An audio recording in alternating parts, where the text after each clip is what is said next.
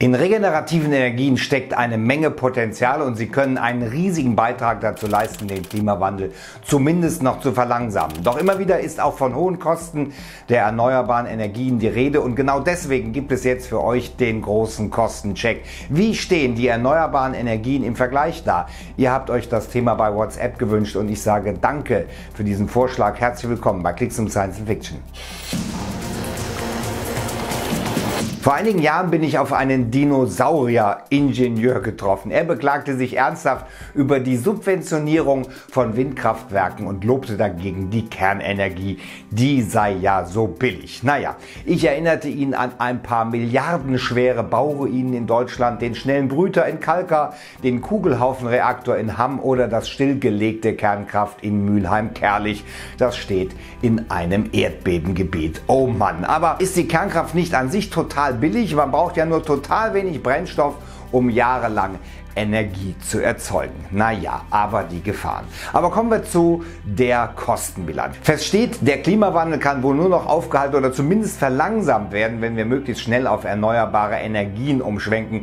Und die sind im Gegensatz zur Kernkraft nämlich ungefährlich. Das ist, und das zu Recht, ein Dauerbrenner-Thema hier bei Klicks um Science and Fiction, denn die Lage ist wirklich ernst. Denn klar ist, dass Energieformen wie Wind und Solarenergie sehr viele Vorteile haben. Sie sind unbegrenzt weltweit ohne langen und kostspieligen Transport verfügbar und Ölkatastrophen, die Verstärkung des Treibhauseffektes und AKW-Unfälle können vermieden werden. Aber es gibt eben auch Schattenseiten. Diese Art der Stromerzeugung ist stark vom Wetter abhängig. Nehmen wir nur als Beispiel die Photovoltaik. Die Herausforderung für das Stromnetz besteht darin, die Schwankungen abzupuffern und auszugleichen. Beispielsweise indem der Strom zwischengespeichert wird oder in andere Regionen, in denen er gerade benötigt wird, weitergeleitet wird. Doch das gilt als extrem kostenintensiv und aufwendig und schadet dem Image der erneuerbaren Energien enorm. Doch wenn man nur einmal auf die Kosten schaut, können erneuerbare Energien punkten. Denn ihr wisst alle, die Kosten von Öl, Erdgas und Kohle steigen rasant. Schließlich handelt es sich hier um Energieressourcen, die endlich sind. Von 2003 bis 2017 ist der Weltmarktpreis für Kohle beispielsweise um knapp 80 Prozent gestiegen, von 45 Euro pro Tonne auf 79 Euro pro Tonne.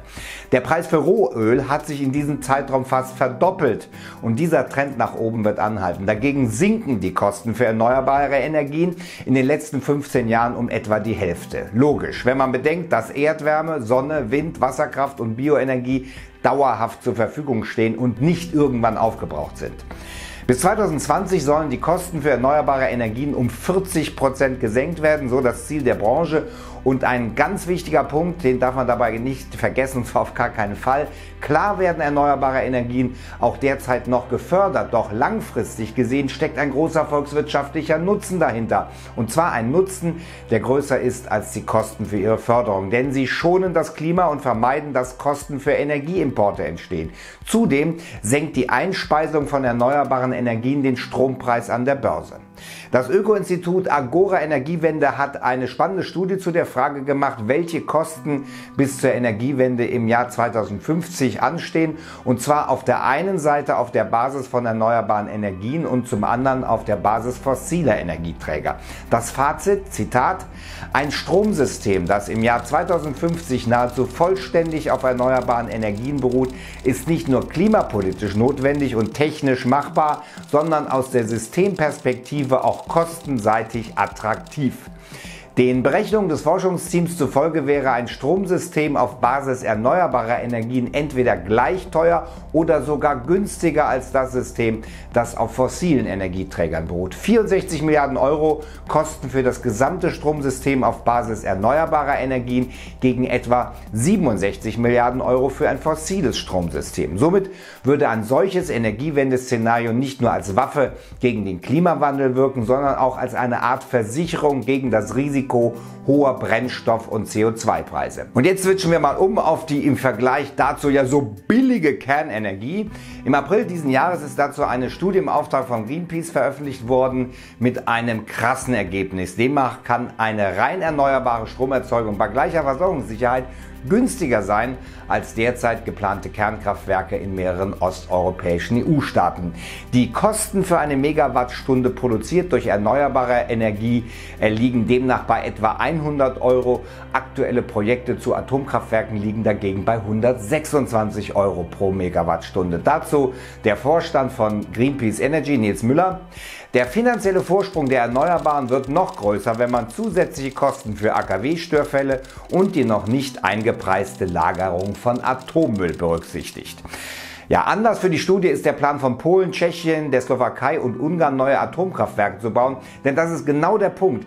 Wie es jetzt aussieht, werden die Kosten der Kernkraft nämlich im Nachhinein auf die Steuerzahler umgelegt und das wird unglaublich teuer. Grob geschätzt werden es hier in Deutschland mehr als 50 Milliarden Euro. Es gibt sogar Schätzungen von mehr als 150 Milliarden Euro inklusive dem Abriss der Atommeiler.